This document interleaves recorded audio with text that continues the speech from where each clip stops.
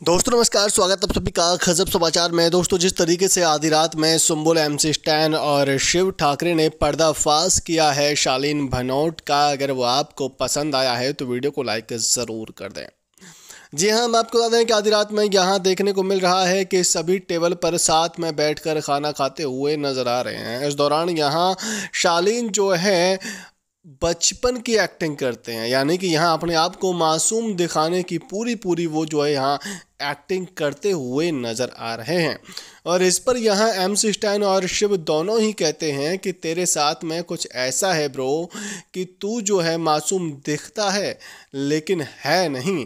दरअसल जिस तरीके से उनकी एक्टिंग होती है, वो यहाँ साफ़ साफ़ देखने को मिलती है। फिर चाहे आप किसी भी बता दीजिए, यहाँ कोई भी पहचान लेगा कि शालीन जो है वाकई में यहाँ एक्टिंग कर रहे हैं और इससे सब कुछ सुनकर यहाँ सुम्बुल भी काफ़ी ज़्यादा मुस्कुराती हुई नज़र आती हैं। कहीं ना कहीं शालीन समझ जाते हैं कि अब ये तीनों मिलकर उनकी फिरकी ले रहे हैं।